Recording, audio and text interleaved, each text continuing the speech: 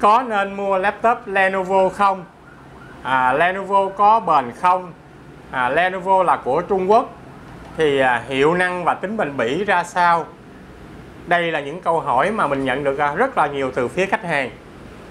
Thực ra thì à, quay lại lịch sử một xíu để chúng ta à, hiểu rõ hơn về dòng à, laptop Lenovo nha mọi người. Năm 2005 á, thì à, Lenovo mua lại một cái mảng máy tính của IBM IBM thì à, không còn quá xa lạ với người dùng chúng ta rồi. Một trong những à, ông lớn à, trong ngành sản xuất máy tính.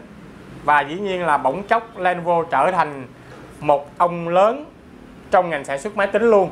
À, nhiều năm liền Lenovo à, à, có doanh số rất là khủng và đứng đầu thế giới.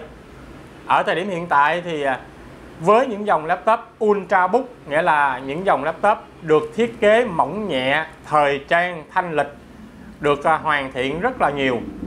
À, trong cái trải nghiệm ngày hôm nay thì à, chúng ta cùng đi trải nghiệm một chiếc laptop 2023 sách tay Mỹ. Đây là dòng Lenovo IdeaPad Slim 5 16 IRL8 chiếc máy có thể nói là được thiết kế à, à, rất là hoàn hảo với à, độ hoàn thiện à, khá là cao. Ngoài ra thì à, cấu hình cũng được trang bị à, mạnh để chúng ta xài văn phòng ở à, con kiếp thế hệ mới này. Core i5 1335U với 10 x 12 luồng. À, up Opto lên tận tới à, 4.6 GHz nha mọi người. RAM là 8GB ổ cứng SD 512 chiếc máy được trang bị kích thước màn hình 16 inch Full HD cộng cho hiển thị à, hình ảnh và màu sắc có thể nói à, rất là đẹp. Bây giờ chúng ta cùng đi trải nghiệm thực tế xem ở phiên bản 2023 này. À, với dòng Lenovo IdeaPad Slim 5 à, được cải tiến và trang bị cấu hình hiệu năng như thế nào nha mọi người? Xem nó có đáng tiền để chúng ta mua phục vụ cho cái nhu cầu công việc hay là giải trí của mình hay không?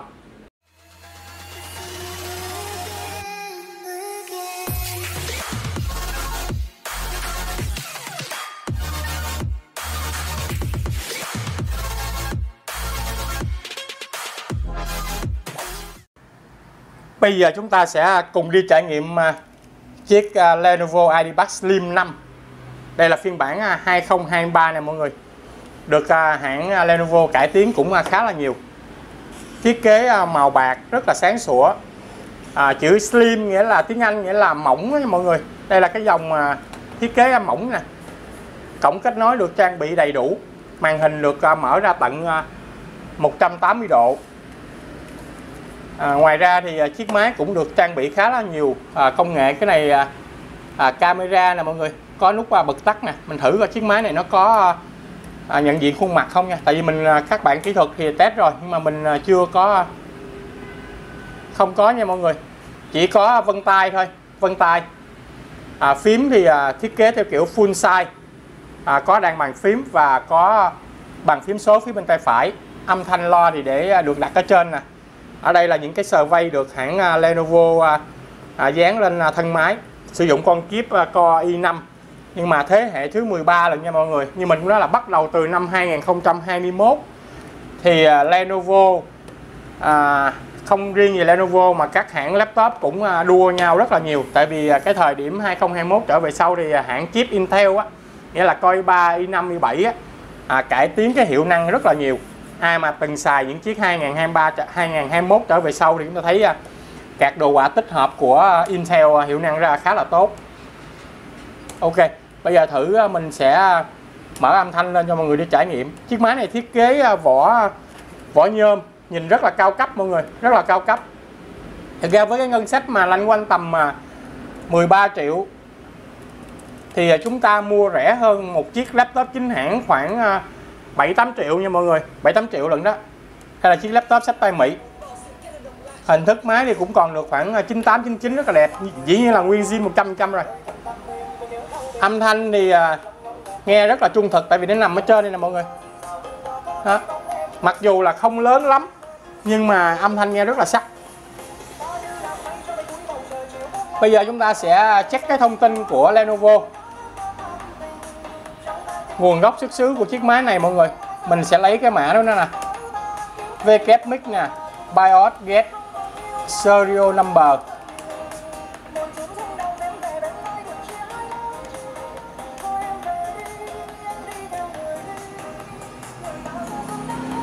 Trước đây mà ai đã từng xài những chiếc laptop Lenovo thì không còn quá xa lạ rồi.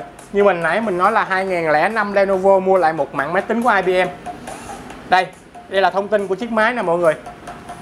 À, mình chỉnh cái độ sáng à, tối lại một tí để à, mọi người đỡ bị chói. Ok. Thì ở đây nó để là current service and à, support status nè. À, 8 month remaining nghĩa là còn bảo hành 8 tháng.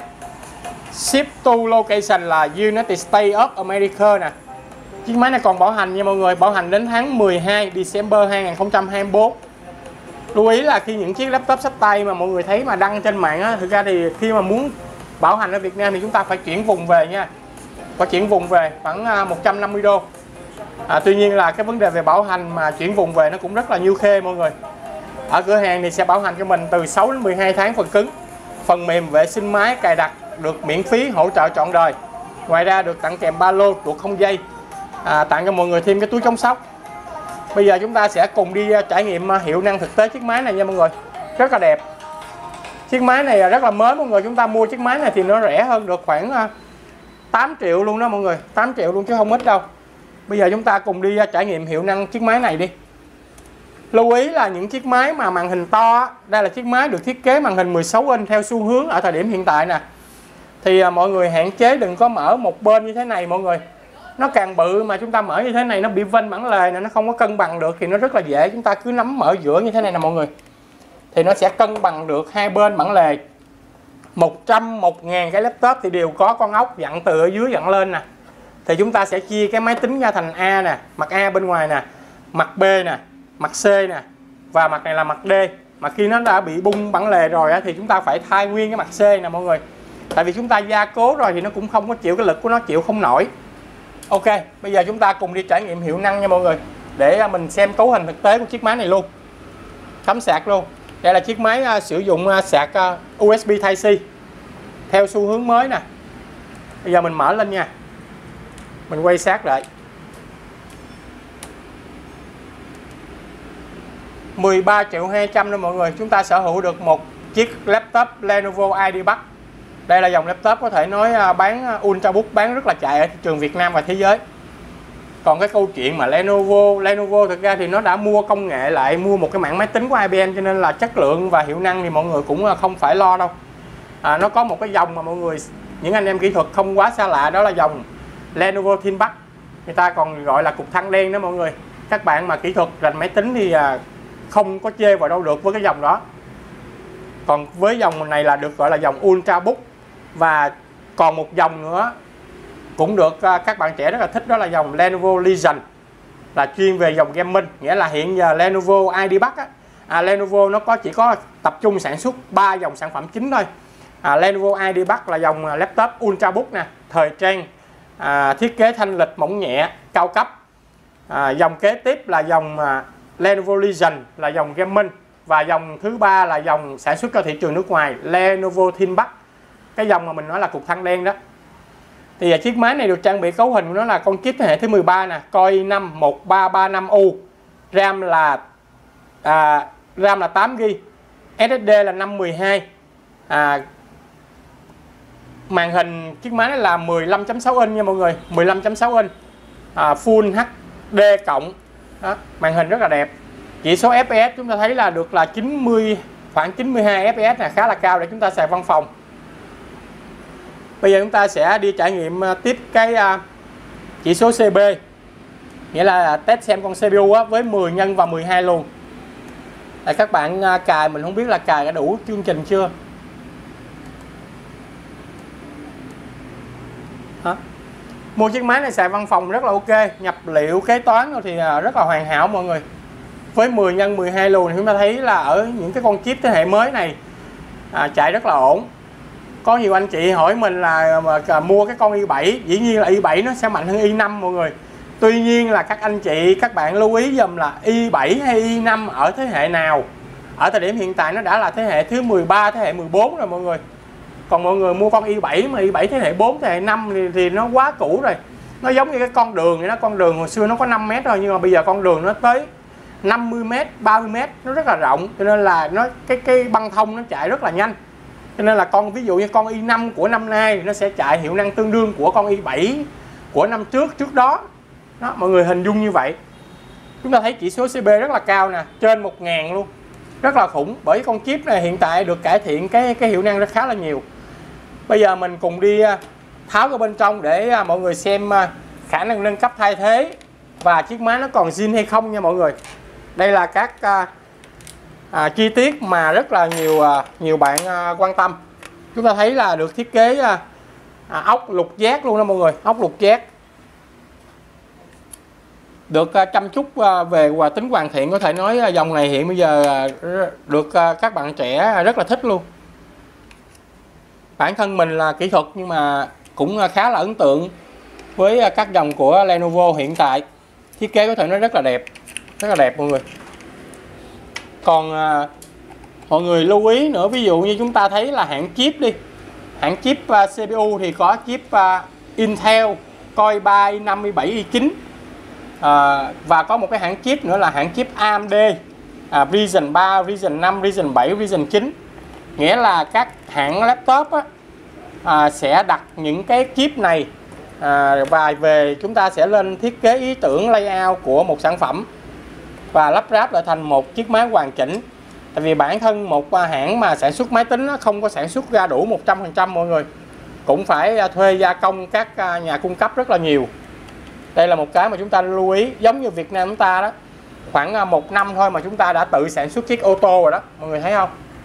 Cho nên là những sản phẩm này đã mấy chục năm rồi, cũng đã chứng minh cho mọi người thấy là đây là một cái sản phẩm rất là đáng mua. Và độ tin ở thị trường thì cũng được rất là nhiều người dùng đã đã chứng minh là rất là là là ok. Nó những cái ngàm nó hơi cứng nha mọi người. Mình tháo không có thế rất hơi khó. Đây là chiếc máy uh, Lenovo à, uh, IdeaPad Slim 5 nè phiên bản 2023 nè mọi người.